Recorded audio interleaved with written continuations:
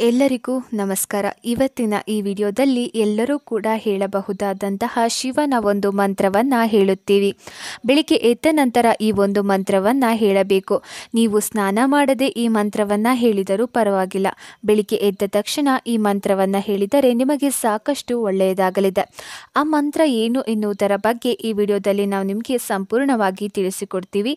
ಅದಕ್ಕೂ ಮುನ್ನ ನೀವು ಕೂಡ ಶಿವನ ಭಕ್ತರಾಗಿದ್ದರೆ ತಪ್ಪದೆ ಓಂ ನಮಃ ಶಿವಾಯ ಎಂದು ಕಮೆಂಟ್ನಲ್ಲಿ ನಮಗೆ ತಿಳಿಸಿ. ಹಾಗೆಯೇ ನಿಮ್ಮ ಜೀವನದ ಯಾವುದಾದರೂ ಸಮಸ್ಯೆಗಳಿದ್ದರೆ ಈ ಕೆಳಗಡೆ ಕಾಣಿಸ್ತಾ ಇರುವಂತಹ ನಂಬರ್ಗೆ ಒಮ್ಮೆ ಕರೆ ಮಾಡಿ. ಶತಸಿದ್ಧ ಪರಿಹಾರವನ್ನು ಮಾಡಿಕೊಳ್ಳುತ್ತಾರೆ ಒಂದಷ್ಟು ಪೂಜಾ ವಿಧಾನಗಳ ಪ್ರಕಾರ ಈಗಲೇ ಕರೆ ಮಾಡಿ.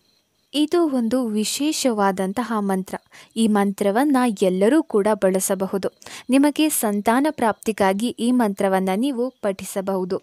ಇದರಿಂದ ನಿಮಗೆ ಸಂತಾನ ಪ್ರಾಪ್ತಿಯಾಗುತ್ತದೆ. ಹಾಗೆಯೇ ಸಾಕಷ್ಟು ಒಳ್ಳೆಯ ಸುದ್ದಿಗಳು ನಿಮಗೆ ಬರಲಿದೆ.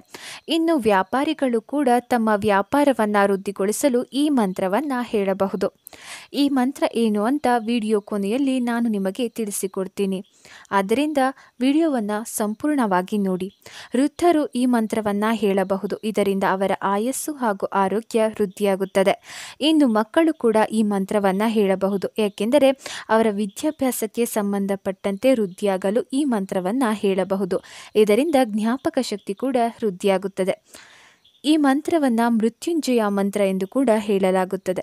ಇದು ತುಂಬಾ ಸರಳವಾದಂತಹ ಮಂತ್ರ. ಈ ಮಂತ್ರವನ್ನು ನೀವು ಹೇಳುವುದರಿಂದ ನಿಮಗೆ ಸಾಕಷ್ಟು ಲಾಭವಾಗುತ್ತದೆ.